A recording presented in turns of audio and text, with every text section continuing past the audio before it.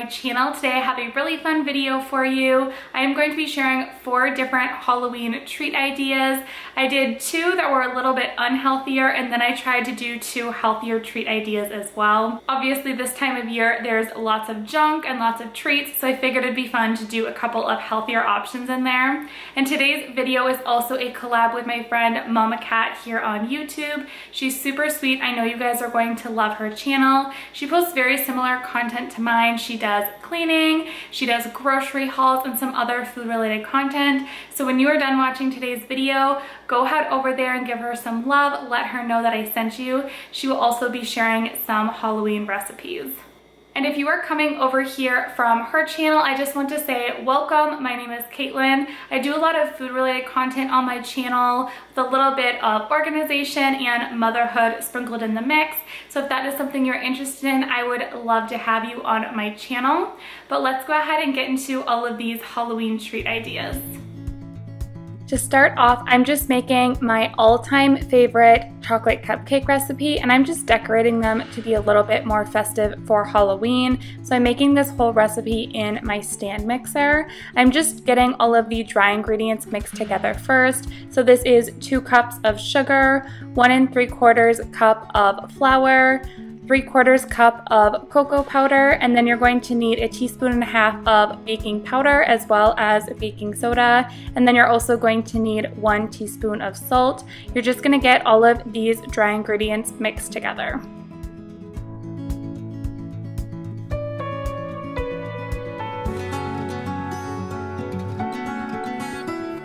After you have all of your dry ingredients really well combined, you're gonna add in all of the wet ingredients. So you're going to need two eggs, one cup of milk, about one to two teaspoons of vanilla extract, as well as half a cup of vegetable oil and then you're going to get all of this mixed together. Now while that's mixing you're going to want to get one cup of water boiling and then you're just going to gradually add that into your batter. This will give you a very liquidy batter but I promise that's exactly what you want. It makes these cupcakes super moist and delicious.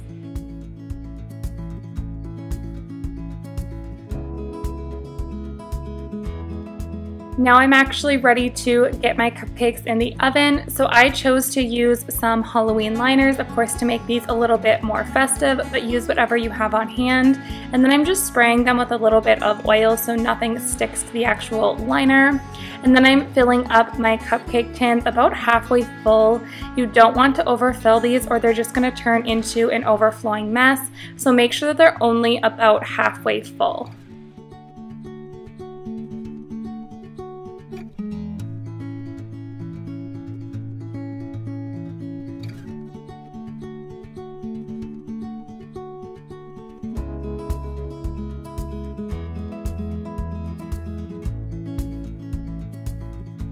You're going to bake these in a 350 degree oven for about 18 to 20 minutes. You'll know that they are done when you can insert a toothpick in the center and it will come out fully clean. This is what they should look like when they come out of the oven. They're super delicious. I absolutely love this recipe.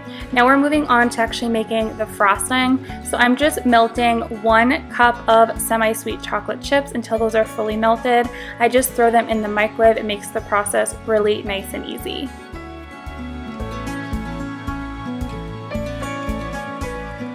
You can set that chocolate aside to cool off while you're mixing up the rest of the frosting. So here I have two sticks of butter. I was using salted on this day, but you can use either the salted kind or unsalted. Either will work just fine for this frosting recipe. And you're just gonna whip those up for a minute or so until everything gets nice and creamy. And then you're gonna add in about a teaspoon or two of vanilla extract, as well as one cup of powdered sugar. You will be adding in another one, but I like to do it one cup at a time. And you're gonna mix this up on about level two or three, and you're gonna want this to get really nice and fluffy. Once all of that is combined, you can go ahead and add in the second cup of powdered sugar. And this is where you're really gonna want to whip it for a good minute or so until everything gets nice and fluffy.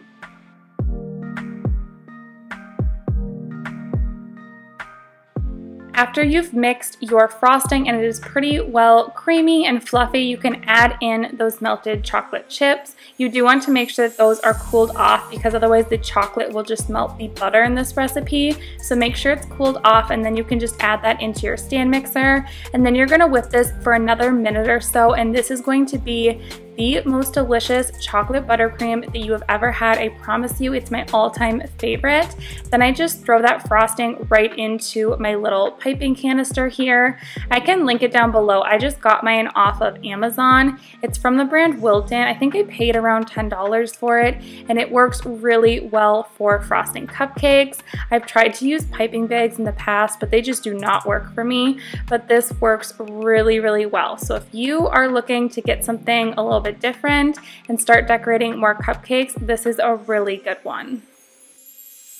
Now it's time to actually decorate the cupcakes. So I just chose some chocolate sprinkles and then I picked up these little candy pumpkins at the store and I think these cupcakes turned out really cute. They're all very simple to make and something that your kids could also definitely help you with. Now if you found some Halloween sprinkles at the store, I think those would be absolutely perfect. Unfortunately, my store was all out of them, so I just chose some chocolate sprinkles and they were still super cute and festive with the pumpkin on top.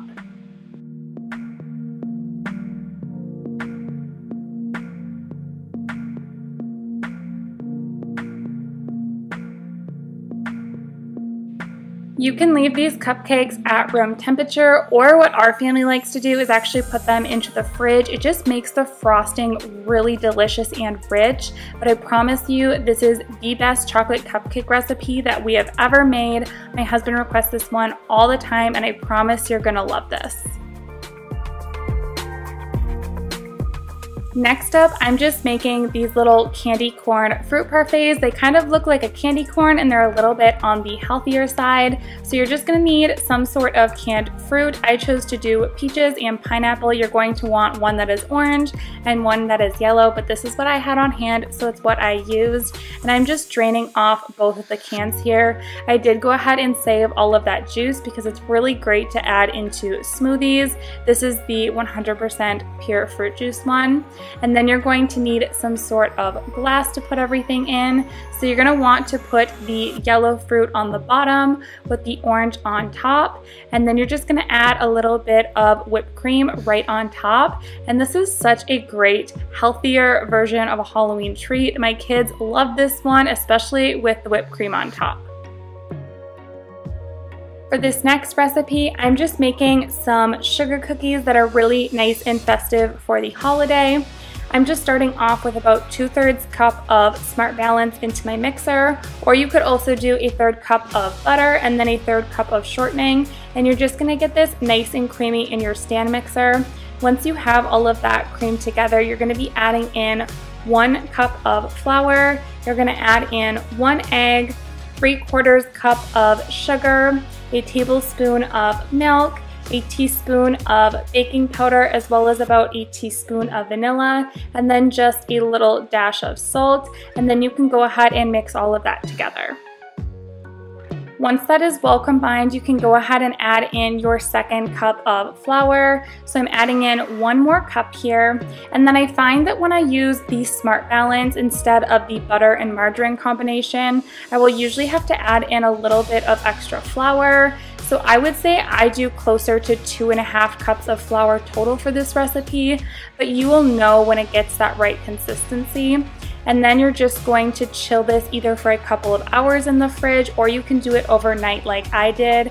I just wrap it up in some saran wrap and then I just put this in the fridge overnight and it was perfect for making with the kids the next day.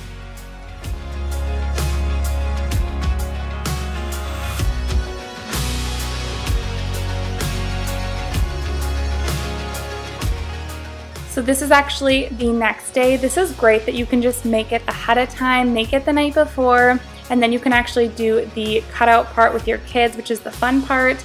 So this is where I actually realized that I need to add a little bit of extra flour.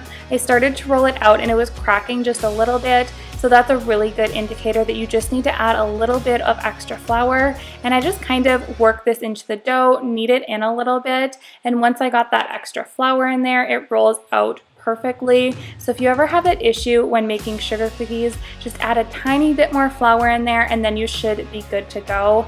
So I did decide to divide mine into two different balls because I was doing two different cutouts and then I'm just rolling this out until it's about an eighth inch thick.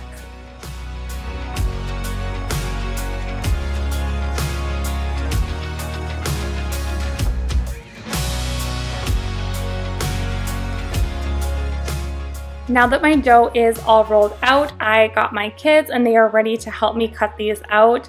This is one of my all-time favorite memories from when I was a kid, so I definitely want to incorporate this with my own kids. They have so much fun helping cut them out. Easton in particular had fun with it. Brinley is more just watching and getting into everything. Don't worry, my husband was right there making sure that they did not fall off the chair. They're good to go and they had so much fun helping with this. It's always a little bit messy, it's a little bit crazy, but it's definitely a really fun thing to do with your kids. With my mom, we did them every single holiday. So we did them for Christmas, we did them for Valentine's Day, Halloween, any holiday that we could make cookies for, we did it and we always had so much fun doing it.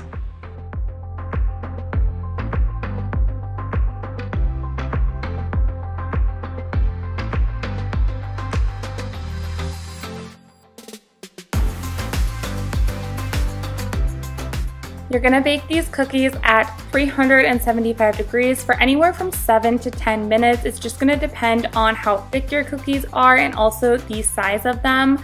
But when they come out, they're really not gonna be super golden brown and that's just because we used the Smart Balance on these ones. So they're not gonna be super golden brown, but the bottom should be and you will know that they are done. So while those are cooling off, I did go ahead and move them over to a cooling rack and I'm just mixing up my frosting. So normally I will make my own out of just powdered sugar, a little bit of milk and vanilla, but this time I just decided to use the store-bought stuff to make my life a little bit easier. So I made purple as well as orange and I'm just getting all of that mixed together until I get the color that I want.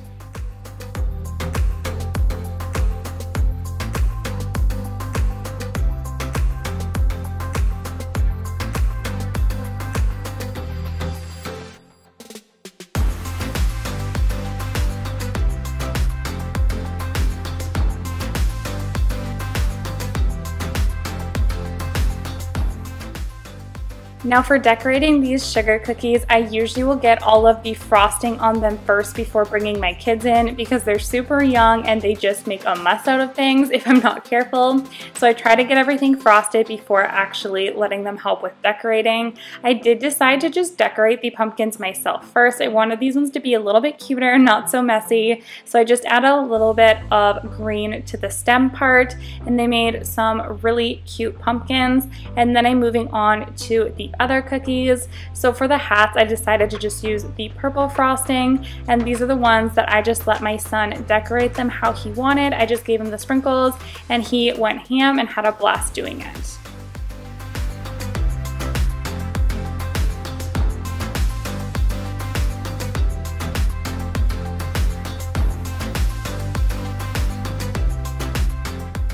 One little tip that I found with kids and using sprinkles is I a lot of times will actually put the sprinkles into a salt and pepper shaker. I find that it shakes out a lot less fast than the sprinkle containers that you get at the store. This way I don't end up with a million sprinkles on each cookie. So if you have young kids, that's just a little tip. It's helped a lot with my two-year-old.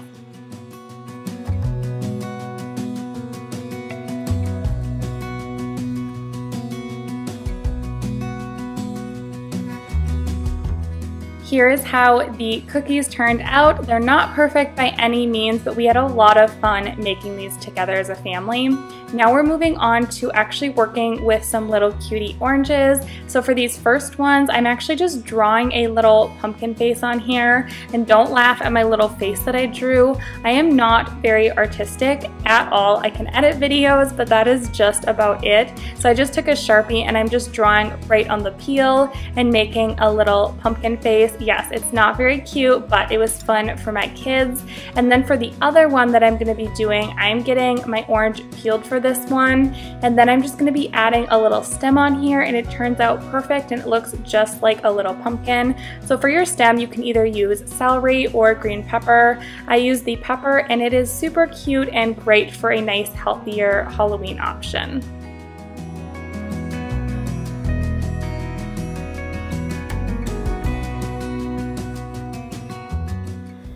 Alright guys, going to wrap up today's video. I really hope that you enjoyed it. If you did, don't forget to give it a thumbs up. Hit that subscribe button if you have not already. And don't forget to head over to Mama Kat's channel. I know you guys are going to love her. She has very good videos and I know she would love to have you over there. So go give her some love and let her know that I sent you. And I will catch you guys in my next video. Thanks so much for watching. Bye. As a young girl, the fields were mine. We played hide and seek for hours, raised our shadows among the pines. So offshore, playful and free, without